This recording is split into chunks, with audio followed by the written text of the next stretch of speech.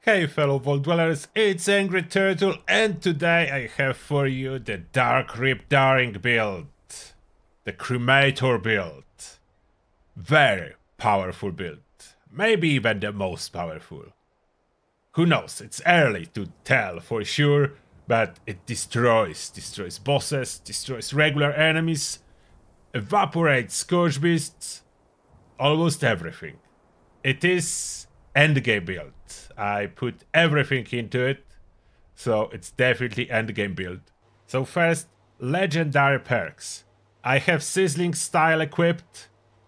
Yes, with the Cremator, it is highly recommended to have high fire resistance to avoid self inflicted damage from this amazing weapon that can happen very easily. I noticed Sizzling Styles helps a lot, so I decided to run with it. I have as well boosted my special by 20 points total, agility, luck, intelligence, endurance. Could you go away with a little bit less? Probably, but if you want maximum out of this weapon, you need it all. Then, Master Infiltrator is here when I don't need full damage. When I do need absolutely full damage, I have enough perk points, so I can... I don't need to do it now, but I can keep swapping wherever I need and equipping taking one for the team for extra damage. That what I would run if I want to do extra damage. It's rarely really needed unless you want to speed run a boss like Scorchbeast Queen or Earle Williams as this weapon and this build already so powerful. The bosses are dying. I don't think I really need to increase the speed, so most of the time I'm running Master Infiltrator. Just for my convenience, the damage is no longer needed. But here are the perks. All the heavy gunner perks. I skip a reload speed and I have blocker as I noticed it's not necessary. This, if, if you put a good mods on your cremator, it's reloading real fast. So I don't really need to increase it. It I have grenadier, but not at all times. Sometimes I will swap it for concentrated fire as explosions are quite big and running with smaller explosions without grenadier keeps like the same damage. The damage will not go down. A little bit less area of effect, but less self-inflicted damage and less splash in your face after the colorful effects uh, will get a little bit old. So concentrated fire is absolutely an option. Endurance, Life Giver, Cola Nut, Fireproof, Revenant. So full damage, Revenant occasionally being used. It's not necessary. You could run 9 Endurance and without Revenant. Cola Nut strongly recommended. With Cola Nut, I can use Cola Dark combined with Party Boy and Happy Go Lucky to boost my luck enough to get criticals every second shot in power armor. And yes, Cremator is very usable in VATS and outside of VATS. Oh, it's awesome weapon, absolutely brilliant. Strange in Numbers, tenderizer, friendly fire, as you can heal with it. It's a fire weapon, so you can heal with it. Friendly fire rank 1, enough to help your friends and friendly NPCs. Under intelligence, it is a heavy gun, so stabilized. Demo expert will not show on weapon card when you equip it, but it is increasing damage greatly, so you need it. Nerd Rage for damage. Batteries included as fuel count as energy ammo, and this weapon is using fuel. Then Thru-Hiker for my food, Adrenaline from damage, and Born Survivor if I'm not using a Vampire Cremator. If I'm using Vampire, I don't really need it, but it's here when I use Anti-Armor, Instigating, or something else. Under Luck, Critical Savvy to get those criticals every other shot with Nuka Dark. Good with Salt to keep my food. Better criticals for more critical damage Starched Genes and it's here either Bloody Mess or if I need to reduce side effects of some mutations then it will be Class Freak.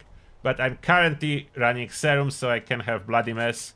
But Class Freak is a decent option to use to reduce the side effects. Now, what mutations do I have? As I said, currently fresh, as I was working on the build and I was changing them a couple times, so it is what I stayed with. Adrenal Reaction, Bird Bones, Eagle Eyes, Herbivore, Herd Mentality, Marsupial, and Speed Demon. Herbivore, of course, so I can have maximum crit damage boost from food. But I have a bunch of herbivore serums. If I want to use carry weight meat-based products, I can. I just pop herbivore serum and then I can use those Mirelurk food buffs from my Mirelurk Steamer. Bare bones really necessary to avoid power landing in power armor, so not avoidable. Adrenal reaction for all those damage. You were seeing me rolling for cremator, so yeah. I'm rocking mostly the vampire with the modifications that I recommend myself to use. So those are the modifications that I recommend and I'm using myself. And currently the damage is a little bit lower as I need to reapply radiation. I forgot about and look how much difference it does. So uh, which one I wanted? This one? Or this one? This one. So this vampire is now 1200 dot, 35 regular damage. After application of rats, quick gamma radiation.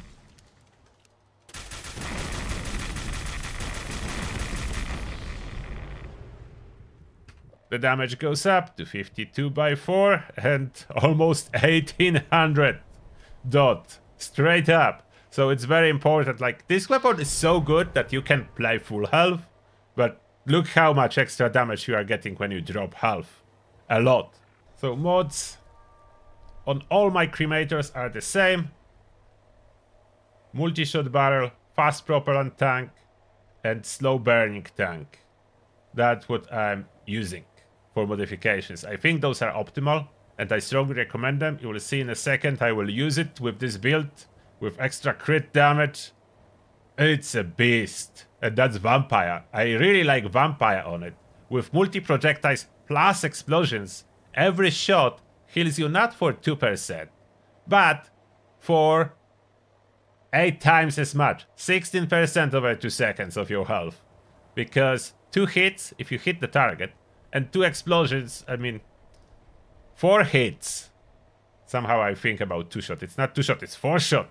Four hits plus four, four explosions. So it's total of Vampire registering eight times. It's really cool using with Vampire. Armor, I have Union Power Armor with the latest paint from the season.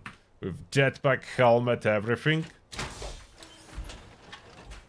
And now a quick showcase how good this build is. Just let me check if I have any food with crit damage. Currently no, so I need to apply some buffs. Okay, I applied some basic buffs. I'm running with super low health here, I see, but I ran out of Brahmin milk. So that's okay. Let's see no VATS now. Look at this damage. And look at the dot. With this vampire, they cannot really do anything to me. I can absolutely do everything to them. And Vampire, thanks to Vampire, I don't need to really worry that I'm hitting myself as I'm getting so much healing. So much healing from this weapon. A little bit in first person view. It's very blinding, those explosions. That's true. That's why I'm not always running Grenadier. It's not always worth it. Now, where is the Big Mama? Oh, Nuka Dark for the Big Mama. If she's here. I hope she is. Nuka Dark to boost My luck, 37 now, so it's still working after update. And look at that now. look at that. You evaporate every enemy you aim at. And reload. This weapon has insanely fast reload. For a heavy gun. I don't even think you need to run quad. But you can. There is an option to roll a quad, at least for now, as I did last time. I didn't want it, but I did roll it. So, this is, this is the weapon. And in case of weak enemies, I don't even need to hit them very much. If I hit nearby, they are dead. It's insane power. With adrenaline stack, it's almost 2000 dots. I think adrenaline is stuck. No, it's only 20%.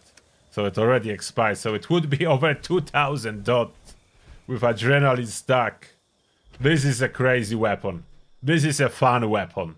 And this build absolutely destroys everything. And that was vampire variant.